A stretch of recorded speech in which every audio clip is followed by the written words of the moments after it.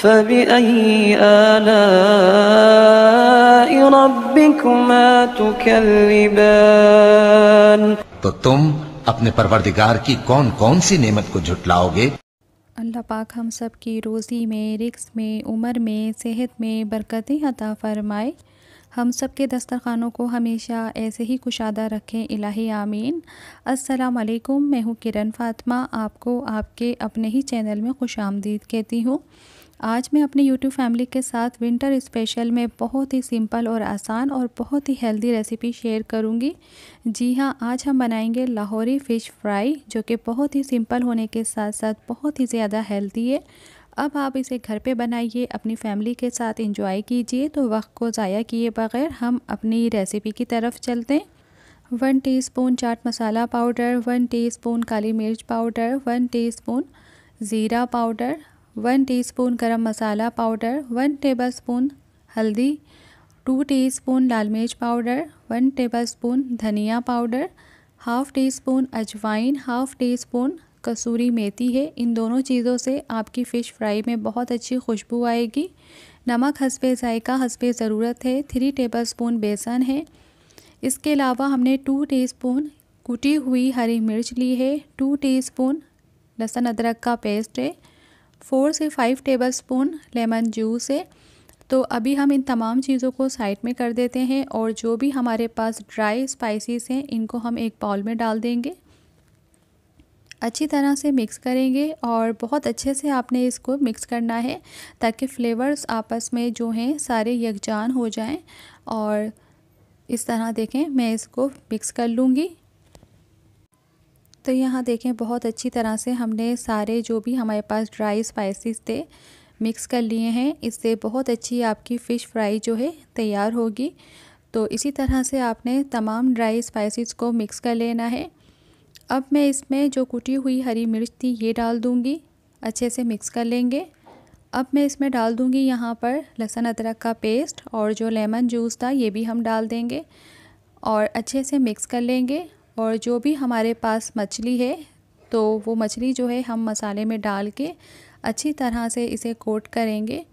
बहुत अच्छी तरह से आपने मसाले को मछली के पीस के ऊपर लगाना है। मैंने यहाँ पे डेढ़ किलो मछली ली थी और डेढ़ किलो मछली के लिए ये तमाम जो स्पाइसेस हैं बिल्कुल परफेक्ट हैं। तो बिल्कुल परफेक्ट मसाला बन के तैयार हुआ था। पहले हम हाथों से मिला लेंगे ताकि सारा मसाला जो है मछली पे लग जाए। इसके बाद हमें एक एक पीस को उठाना है और इस तरह मसल मसल के सारे मसाले को मछली के ऊपर लगा लेना है ताकि अंदर तक जो है मसाला चला जाए। अब यहाँ पे आपने इसको अच्छी तरह से मसाले को लगाकर इसे मैरिनेट करके रख देना है। कम से कम आप इसे चार घंटे के लिए रखें। इससे बहुत अच्छी अंदर तक जो है, देखिएगा, मसाला जो है, आपकी फ़िश में चला जाएगा और बहुत अच्छी आपकी फ़िश फ्राई तैयार होगी। और अगर आप इसे रात भर के लिए भी मैरिनेट करके रखना चाहें तो ये बहुत अच्छी बात है। आप इसे रात भर के लिए भी मैरिनेट करके रख सकते हैं। तो यहाँ देखें, इस तरह से मैंने सारे पीस के ऊपर मछली के मसाला लगा लिया है तो बस इसी तरह से आपने सारे पीस के ऊपर मसाले को लगा लेना है और बस मैरिनेट करके इसे रख देना है। तो यहाँ देखें, सारे पीस जो हैं हमारे अच्छे से मसाले के साथ इस तरह से लग चुके हैं। अब मैं यहाँ पे इसे कवर करके रख दूँगी और देखें कितनी शानदार हमारी मछली जो है लग रही है, मसाला लगने के बाद। और ये ऐसी रेसिपी है जिसे बच्चे बड़े, सभी बड़ा खुश होके खाते हैं, बहुत इंजॉय करते हैं और बहुत ही हेल्दी रेसिपी है। अब यहाँ मैंने कवर करके इसे रखा था तकरीबन दो से ढाई घंटे के लिए टाइम की कमी थी मेरे पास।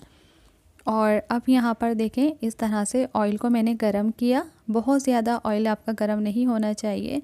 इस तरह से ऑयल गरम हो जाने के बाद अब मैं यहाँ से इस तरह से एक एक पीस पकड़ते हुए इसको डाल रही हूँ ऑयल में। बहुत ही ज़्यादा केयरफुली आपने डालना है, कहीं छींटे वगैरह ना आ जाएँ।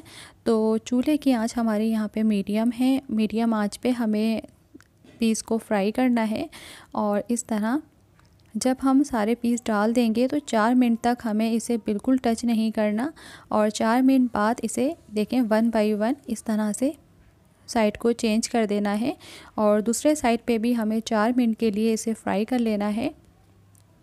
तो यहाँ देखें इस तरह से मैं सारे पीस को पलट कर फ्राई कर लूँगी और इस तरह से हमारी लाहौरी फ़िश फ्राई बहुत ही शानदार और सिंपल रेसिपी के साथ फ्राई हो रही है। और ये देखें, इस तरह से मैंने सारे पीस को पलट लिया है और पलटने के बाद बस मैं इसे फ्राई कर लूँगी। तो ये बहुत ही सिंपल है, बहुत ही आसान है। घर के ही मसालों से हमने देखें कितनी शानदार सी फ़िश फ्राई तैयार कर ली है और जो पैकेट के मसाले होते हैं, हमें नहीं पता होता वो किस तरह से बनाए जा रहे हैं, किस तरह से तैयार किए जा रहे हैं।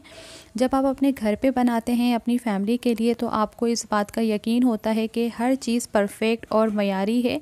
तो इस तरह से देखें मैं कितनी शानदार हमारी जो है फ़िश फ्राई तैयार हुई है। इसी तरह से मैं सारे पीस को फ्राई करके निकाल लूँगी। तो यहाँ बाकी के जो बचे हुए पीस हैं, उन्हें भी हम ऑयल में डाल के फ्राई कर लेंगे। और मैंने यहाँ पे सरसों के ऑयल में फ़िश को फ्राई किया है, क्योंकि देसी खाना अगर देसी तरीके से बनाया जाए तो उसका जायका और भी ज़्यादा दुबाला हो जाता है। बाकी अगर आप रिफ़ाइंड ऑयल पसंद करते हैं तो आप रिफ़ाइंड ऑयल में भी इसे फ्राई कर सकते हैं।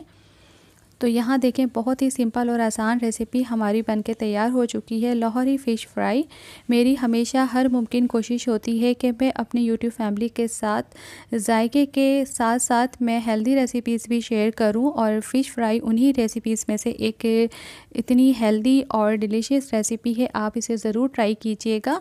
ये बहुत ही ज़्यादा फ़ायदेमंद रेसिपी है और सबसे बढ़कर हमने इसमें तमाम मसाले जो हैं, घर के ही इस्तेमाल किए हैं।